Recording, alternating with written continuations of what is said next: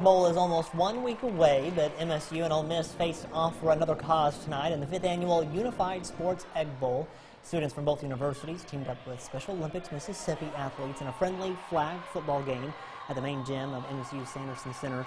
The Special Olympics College advisor Julie Kelly says it's been a great experience in bringing the event together. This this night has been a huge success already, so we're really excited about it. Um, the Growth our program has been amazing. Seeing all those people in the gym right now, it just makes your heart warm. Um, you can't leave one of these events without a smile on your face, so it's just been a really cool experience.